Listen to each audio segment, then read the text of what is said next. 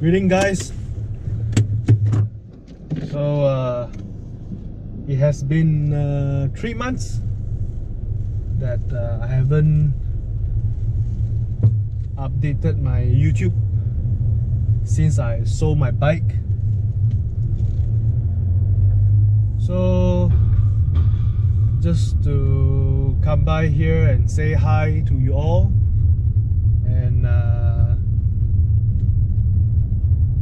yes I'm now without my bike and uh, live a bikeless life. So I just want to say that I have yet to regret uh, selling my bike. By the way, my bike was uh, sold to a nice gentleman whom uh, I met on Facebook who has been uh, following my YouTube videos. He came all the way from Perak to buy my bike.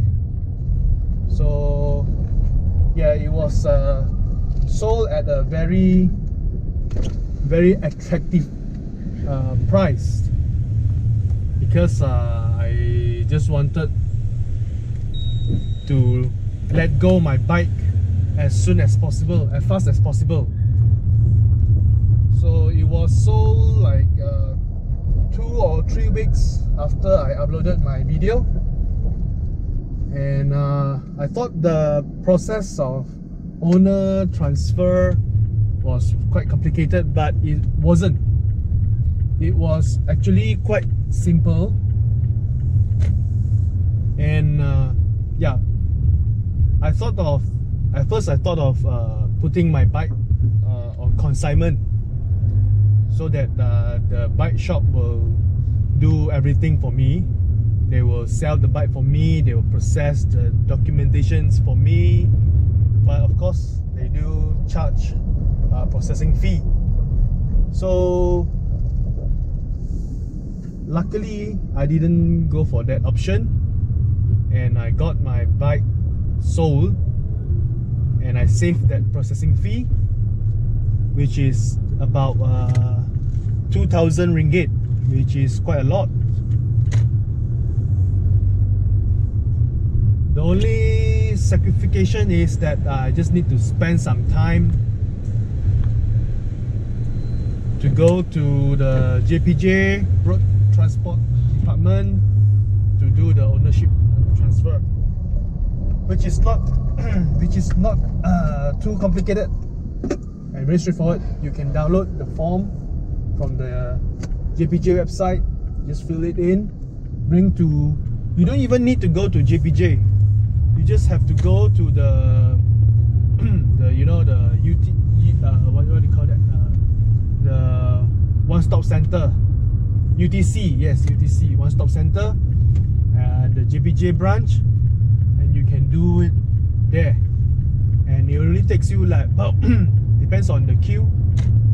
For me, it took me about less than 30 minutes for the ownership transfer. It is very easy. So, uh, and one more thing is that uh, selling a bike, you don't have to go to Puspakom for vehicle inspection not like uh, selling a car so that also saved me a lot of time so if you're guys thinking of selling your bike as well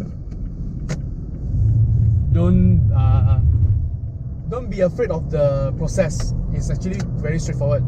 If you want to know more about the details you can leave me a comment and I'll try to answer. So okay life without a bike. Uh, yeah actually I saved managed to save some money.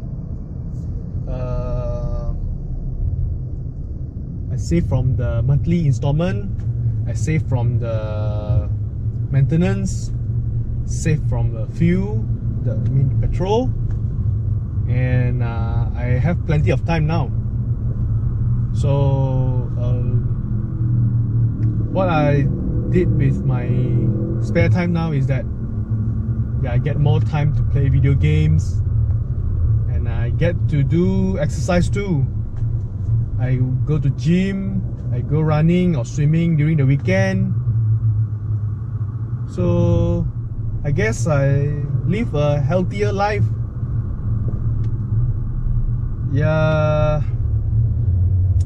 Sometimes yeah, I'm I'm I'm yet to miss the riding uh, lifestyle yet. So still okay for me. Uh, since I have uh, cut down my riding even when I was still owning the bike I don't go for weekend riding anymore. Very seldom. And yeah.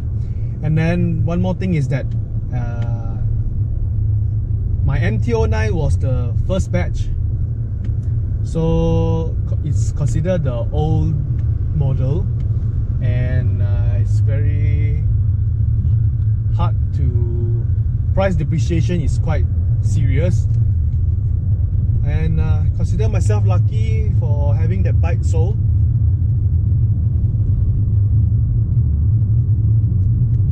Even now those uh, I see a lot of people a lot of bikers selling their bikes too especially MT-09 which is quite hard to sell even at the price of 30 31 32,000 for like uh, 2015 models 20 no sorry 2016 2017 models. Because people uh, I mean uh, buyers are looking for newer models less mileage and especially the new models that that come with uh, quick shifter and ABS uh, traction control and everything and with the new headlamp So yeah, I now I drive to work every day, which is kind of uh, boring, you say, but I'm quite okay with it for now because uh, I tend to enjoy driving more. Uh, it's not like I have a choice. I have to drive to work anyway, but. Uh, get uh, I have uh, uh, recently I just subscribed uh, Spotify. So I get to play any type of music I want during my uh, driving things like that. Uh, the only thing is that I don't travel to outstation makan-makan jalan-jalan that often. That's the only difference I guess. And then uh, yeah, I actually plan to do something else for the for my YouTube channel. So stay tuned. I'm uh, introducing. I'm going to introduce something new very soon, and uh, I'll tend to give it a surprise. So as usual, to all those who supported me to all those who still riding bike uh, ride safe and uh, thanks for your support. I'll see you soon. GoPro stop recording